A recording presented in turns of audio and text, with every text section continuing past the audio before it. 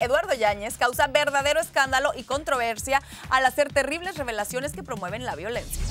Vaya respuesta la de Eduardo Yáñez al dar su opinión del lamentable suceso que se vivió en Colorado, en donde un hombre mató a 12 personas. Cualquier opinión que demos personal, eh, somos muy criticados, pero por ejemplo en mi país el crimen está muy elevado, entonces los ciudadanos deberíamos tener derecho a portar un arma para defender nuestras vidas porque el caso de aquí es muy, muy elevado.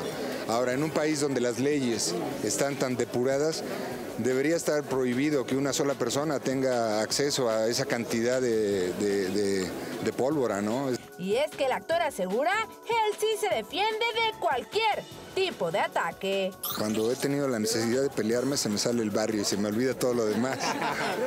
Oye, pero tú eras de barrio. Yo ahí crecí, por supuesto, yo crecí en el barrio. Pues a mí no me parece correcto, la verdad, lo que dijo. Yo creo que estuvo muy desatinado. Muy desatinado su comentario. Además, te voy a decir una cosa. Imagínate, como dice él, él, tiene antecedentes de que es un chavo violento. o sea, de que es un chavo agresivo y de que han tenido miles de broncas así en las telenovelas y todo eso. O sea, como dice, para defenderme, o sea, alguien se le pone al brinco y sin armas, así que se los come. Ahora imagínate si portar armas. El problema no es tanto de, portar un arma, si el problema es que el arma no, no mata por sí sola. La tiene que disparar un humano para matar a alguien. Y yo creo que fue muy desafortunado porque aquí estamos hablando de un caso en donde un loco mata a 12 personas, deja 58 heridos. Creo que, que no puedes tú estar inculcándole la violencia a nadie y menos en un país que tiene un problemón social del tamaño del, del que lo tiene nuestro país impulso, o sea, se te atravesó el microbús, sí Se me cerró, toma, chivo tu elote.